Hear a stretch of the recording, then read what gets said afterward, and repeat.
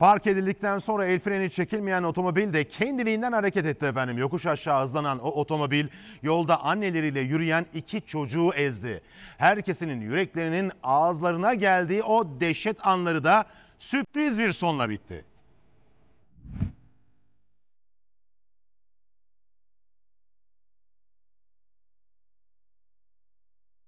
El freni çekilmeyen otomobil geri geri kaymaya başladı. Sokakta yürüyen iki çocuğun üzerinden geçti. Güvenlik kameralarına yansıyan mucizevi kurtuluş Şahin Bey'deki Vatan Mahallesi'nde kaydedildi. Yol kenarına park edilen otomobil el freni çekilmeyince kendiliğinden hareket etti. El freni çekmiş tamam mı? Yarım çekmişti. Tam çekmemişti freni. Ondan sonra araba geri geri gelmeye başladı. Yokuş aşağı hızlanan otomobil annesiyle sokakta yürüyen iki çocuğun üzerinden böyle geçti.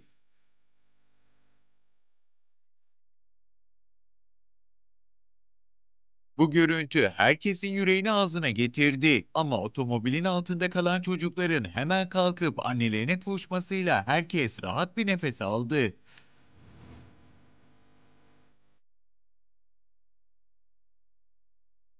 Yolda iki kadını daha ezen otomobil bir iş yerine çarparak durabildi. Tek cama vurdu. Büyük camı, büyük camı kırıldı. İki tane kadın burada vardı. Kadın altına aldı. Çocuklar durumları iyi.